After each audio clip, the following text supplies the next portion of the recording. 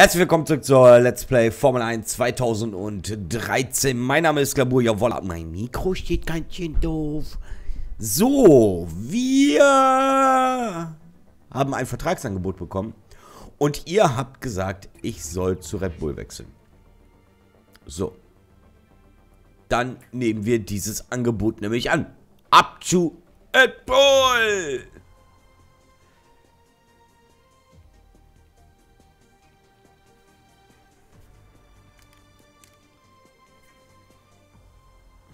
Infinity Red Bull Racing. So, Herr Vettel. Ich bin Ihr Teamkollege und ich liege vor Ihnen. so, wir gucken uns E-Mails nach. Wir sind in Zuckerdra, Spania, Funk und Chips. Wir haben am Freitag Regen, am Samstag Sonne, Sonntag bewölkt. So. Und hier gibt es jetzt ganz kurz einen Cut. Ich habe vergessen, meinen Browser aufzumachen. Ich habe Setups gefunden. Also gleich geht's weiter. Bin ich gleich. Jo, da bin ich wieder. So, für euch war ich nur ein kurzer Schnitt. Wir gehen ab mit Red Bull zum Ungaroring. Äh, Ungaroring. Äh, Belgien. Belgien ist es. So. So wie ich weiß, ist es Belgien. Äh, ich habe zwei Stück bei der Rennstrecke. Ich gehe erstmal auf das, was laut der Seite etwas langsamer ist. Aber anscheinend besser für Rennen ist. Weil das sieht mir nicht ganz so aggressiv aus, das, das ganze Setup. Und das ist das, was wir ja eigentlich wollen. Nicht so aggressives Setup, dass wir auch unsere Rennstrategien überleben. So, wir schauen jetzt erstmal unsere, das, die Rennstrecke an. Äh, so war's. So.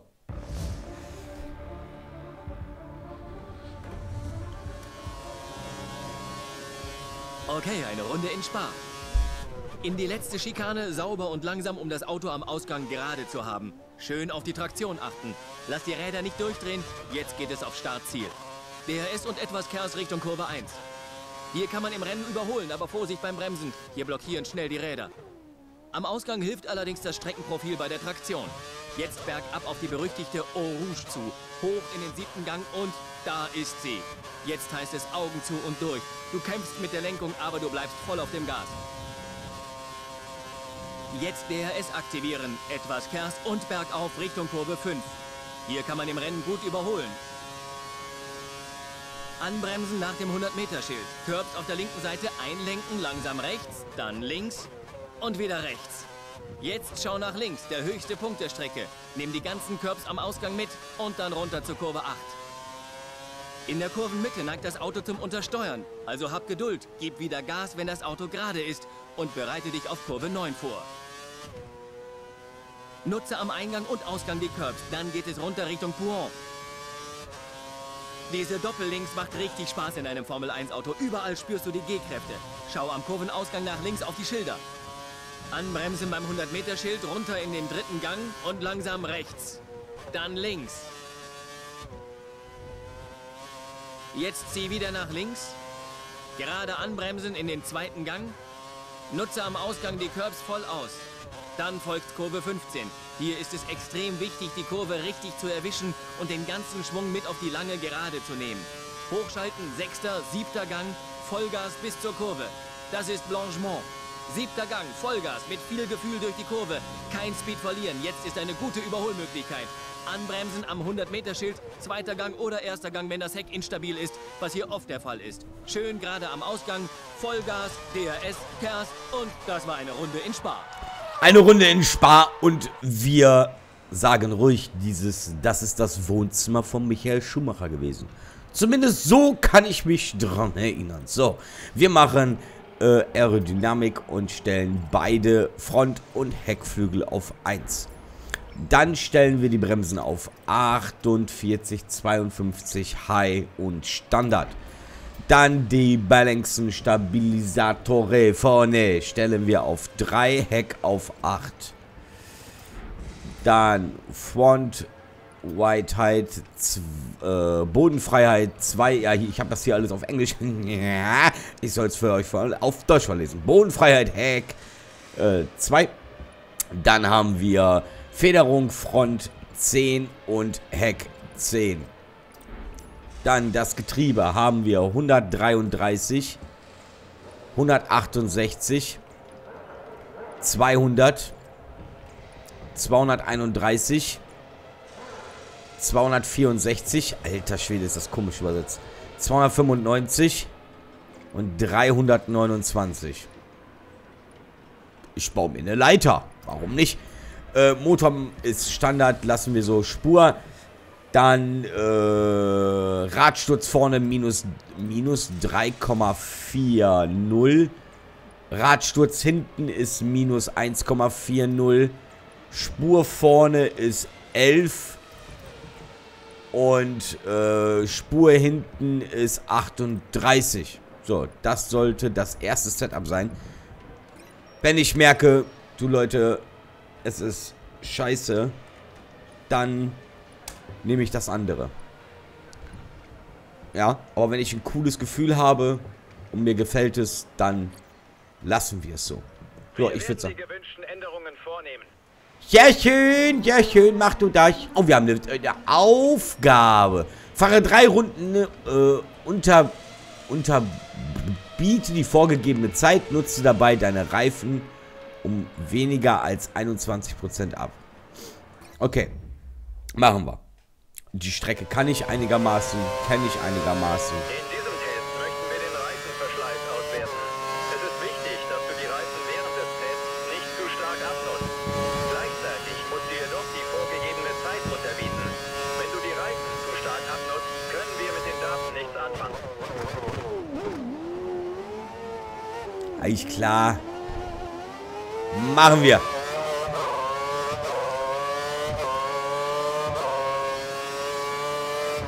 Oh, schon 4%.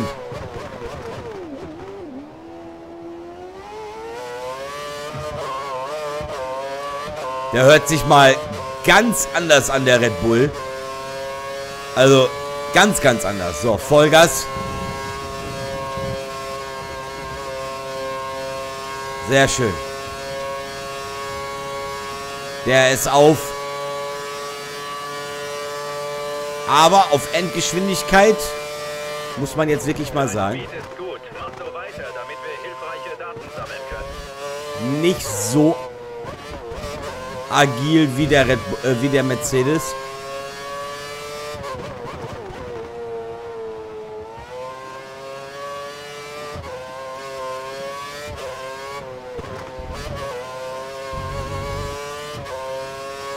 Kann aber an dem lang übergesetzten, lang übersetzten Getriebe sein.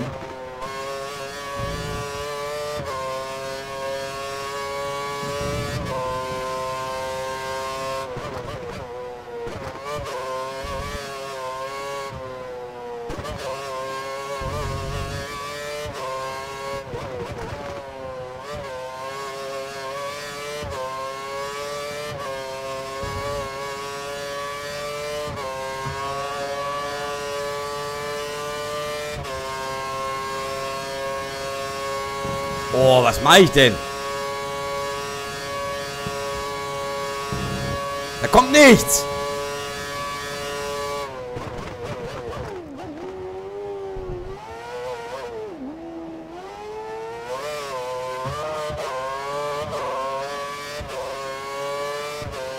Starke Runde.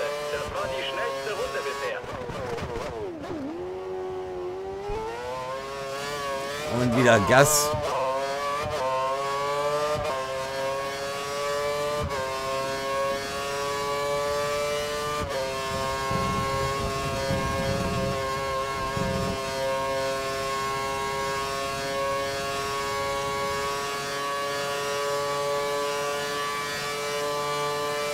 Voll unruhig, finde ich.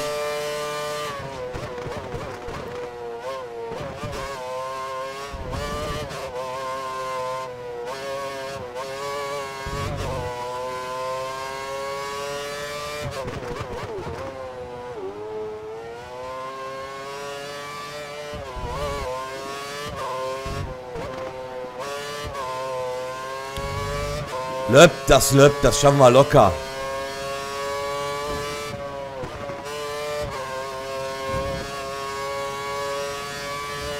Alter, mit voll raus beschleunigen.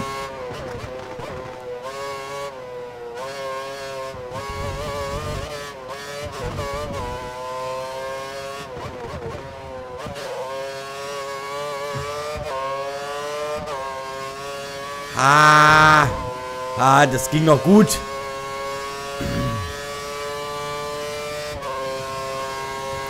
Also, ich fahre jetzt den Test hier zu Ende und ich werde das andere Setup nehmen.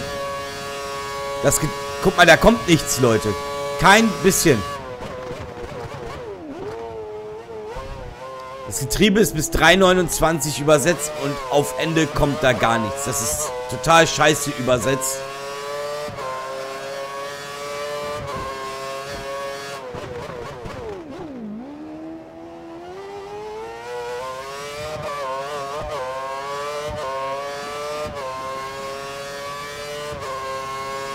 Eindeutig meine Meinung. Sebastian ist derzeit Zweiter. Oh, Laufframes. Hello, könntest du bitte wiederkommen? Jetzt geht's wieder. So, weiter geht's.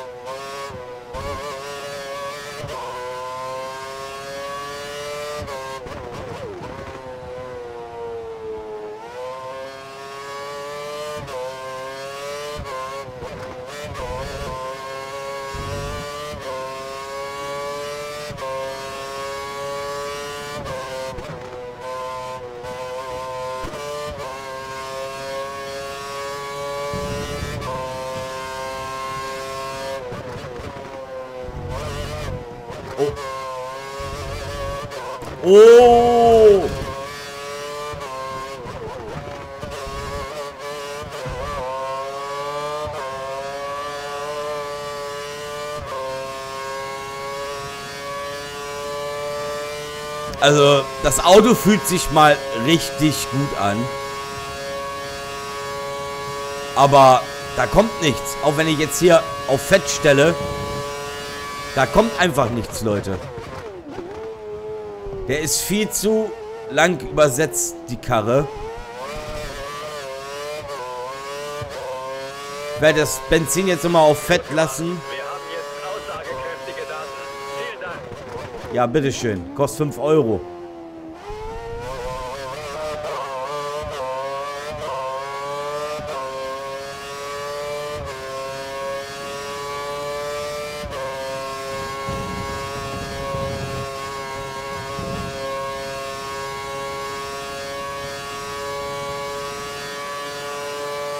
Dieses Stück hier mit der S ist okay, aber...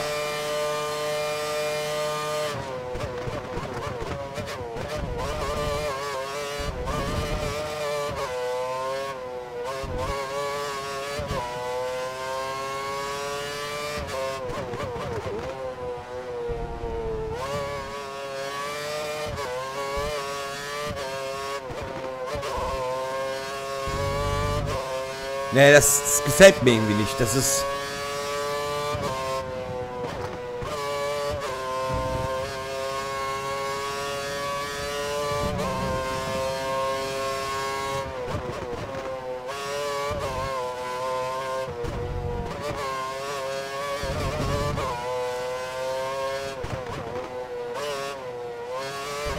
Ich bin wirklich komplett am Limit, Leute.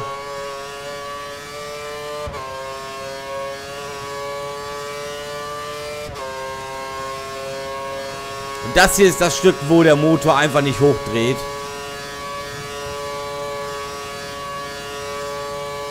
Trotz hohe Drehzahlen.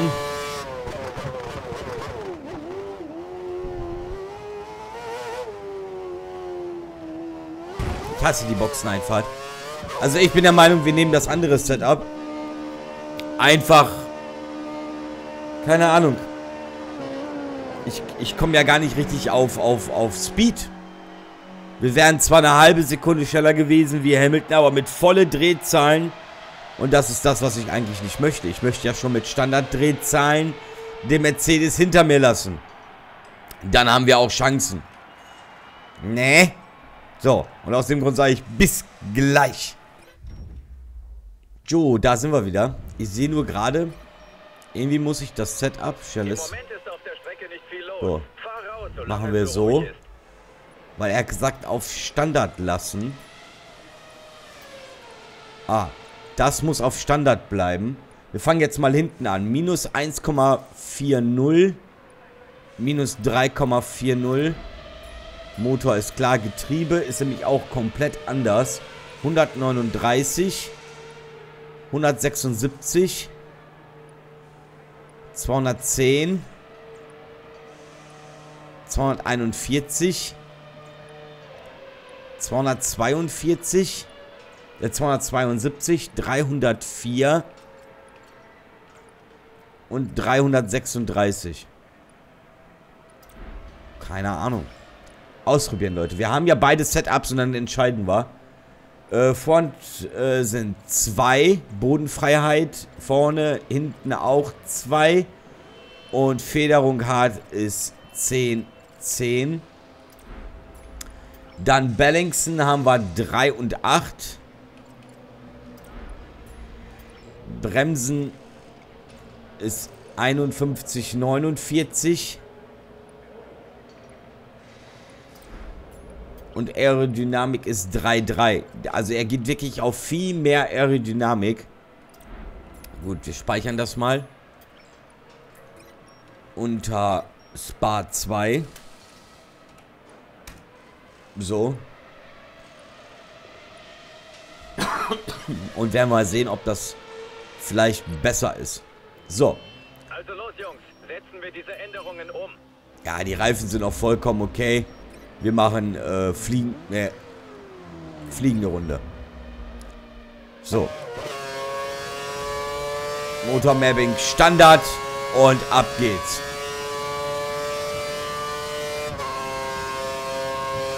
Auch übel sich am Quälen hier.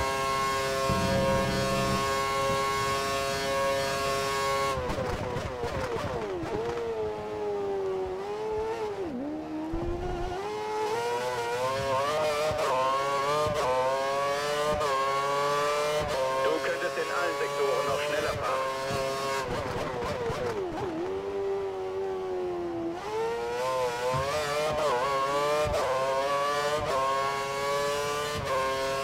So, jetzt bin ich gespannt. Volle Konzentration und auch das Maximum versuchen rauszuholen.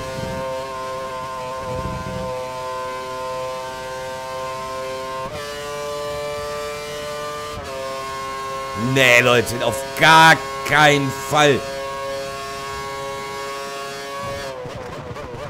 Ich muss zwei Runden fahren. Ich habe das DRS wieder zugemacht. Ich blöd, Mann.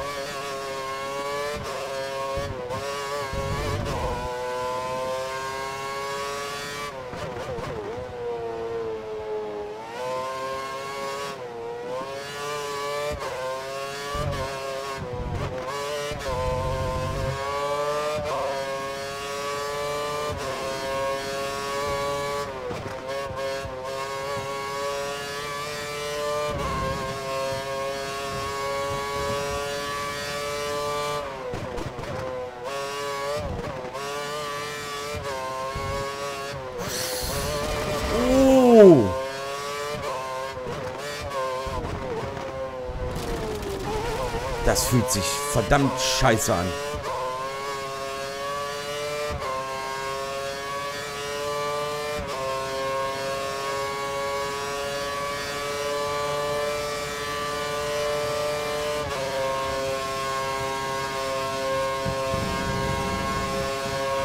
Eine Runde fahre ich noch.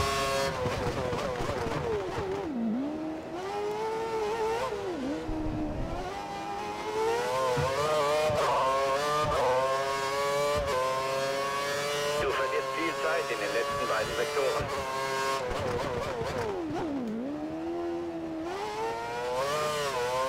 Sehen wir hier runter mal kein, der, äh, kein Kers, weil es ja eh bergab geht.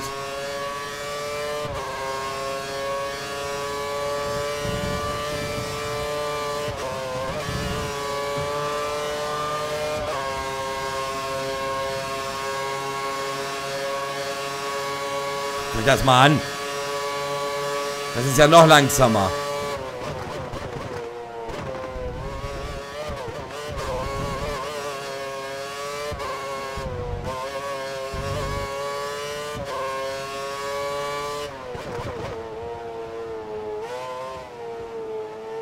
Habe gar keinen Grip in der Kurve.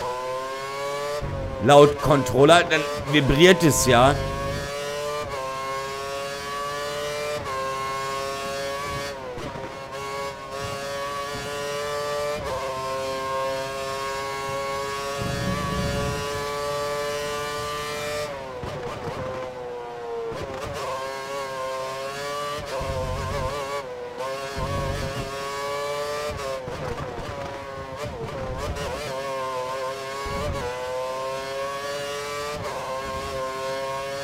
Fahren über eine Sekunde langsamer. Was ist das denn für ein Bug jetzt? Alter! Auf der Strecke hat man immer...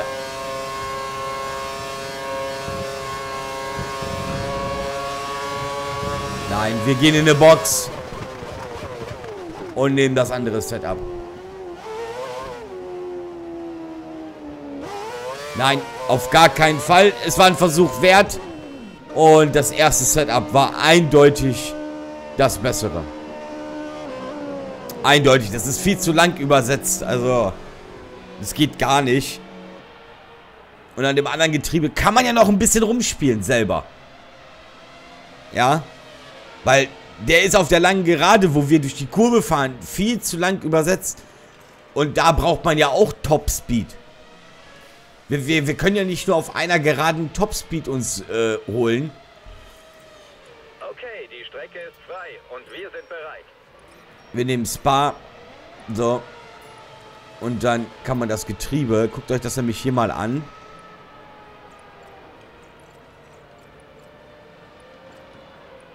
Wir stellen mal auf 324 und den stellen wir mal noch einen kürzer. So. Das speichern wir mal. Da schreibe ich jetzt mal Glabur rein, dass das meins ist. So. Das war hier mal ein bisschen das Optimale aus diesem... Ja, man muss so sagen, Re Renault war auch ein bisschen schlechter von der Leistung her in der Formel 1 2013. Das war wirklich so. Denk dran,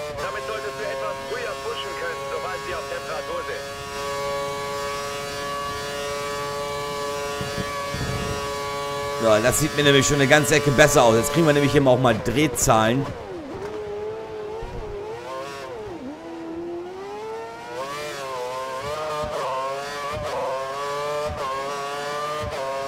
Du liegst in allen Sektoren hinter dem Soll. Ganz besonders in den Sektoren 2 und 3.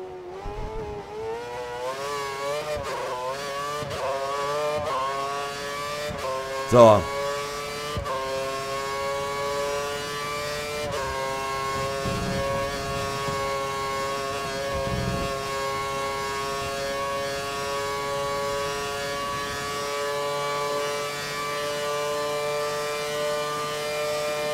Und es reicht.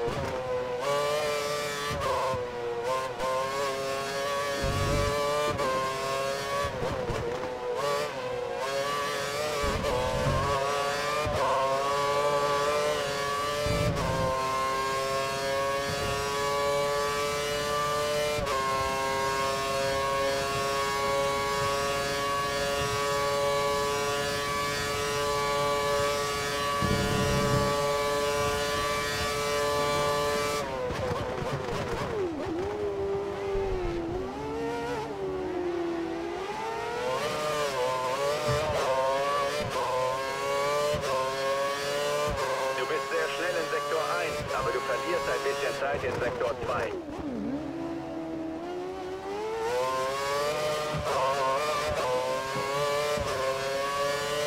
Alter, willst du mich verarschen? Was geht das hier ab? Yippie! Mit drei Leuten. Wir haben zu wenig Topspeed, Leute.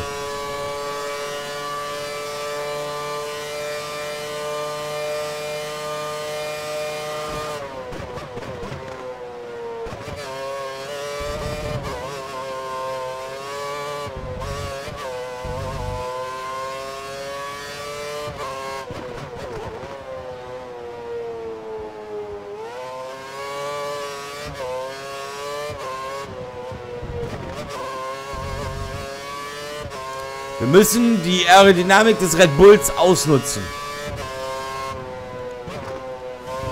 So geht's nicht. Da muss ich vorher ein bisschen bremsen.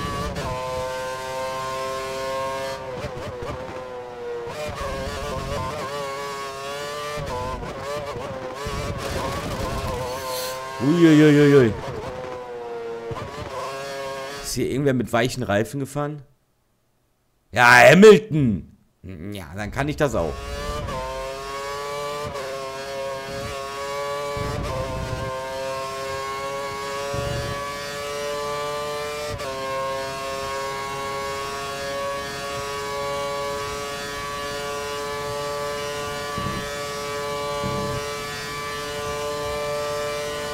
...310 kann man sagen, schaffen war gut. Das Auto ist jetzt ja auch ziemlich schwer. So, Leute. Ich würde sagen, das sollte vollkommen reichen an Training. Ich werde das Setup so lassen. Ich glaube, ich werde den siebten Gang noch mal einen länger stellen. So ein kleines bisschen. Dass er äh, ein bisschen mehr äh, Drehzahlen noch über hat. Und dass wir nicht in Drehzahlbegrenzer kommen. Auf voll. Und nicht, dass wenn wir nachher im Windschatten kommen, dass wir dann auf einmal...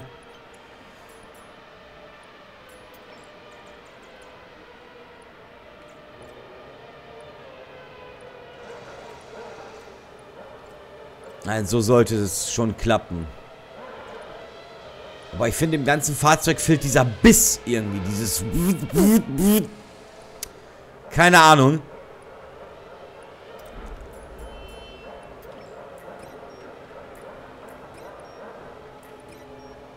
Alles klar, das überschreiben wir. Und ich sage damit vielen Dank fürs Einschalten bei Formel 1 2013. Mein Name ist Gabur. Es sollte eigentlich reichen, um mit dem Red Bull klarzukommen. Werden wir mal sehen, was wir damit in der Qualifikation rausholen können. Ich gehe davon aus, dass wir da mehr auch mit rausholen werden. Ich lasse mich einfach überraschen so ein bisschen. Und äh, es fühlt sich auf jeden Fall gut an. Nur man muss auch sagen, wir haben immer für 10 bis 15 Runden Sprit drin. Ja. Also mal abwarten, was in der Quali geht. Und damit sage ich vielen, vielen Dank fürs Einschalten bei Formel 1 2013. Schaut mal bei Twitter und Facebook vorbei. Bis zum nächsten Mal. Ciao, Lowy.